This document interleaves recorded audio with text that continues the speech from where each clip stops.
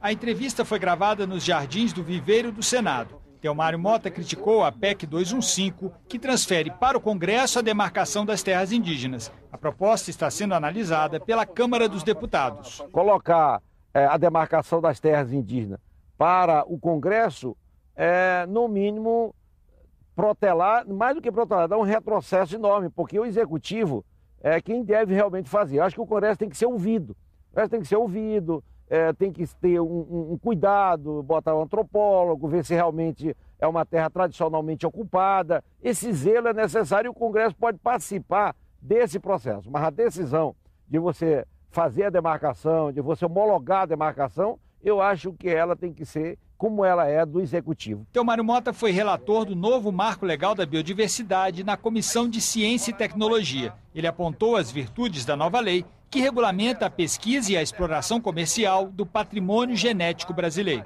Trouxe uma evolução, trouxe uma, uma disciplina, é preciso com isso, as empresas vão poder investir, é, os detentores desse conhecimento vão poder ser é, reparados e de ordem que agora eu acredito que nós vamos avançar muito, que o Brasil é o país aí que tem a maior biodiversidade do mundo.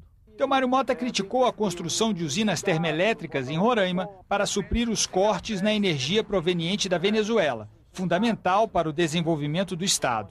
A pior energia que você pode ter, a que mais polui, a mais cara e a mais inviável. É, é realmente hoje o que está dando sustentação energética para o nosso Estado. E Roraima, Roraima precisa se libertar. Para o senador, a conclusão das obras que levam a energia de Tucuruí até Roraima é a melhor solução.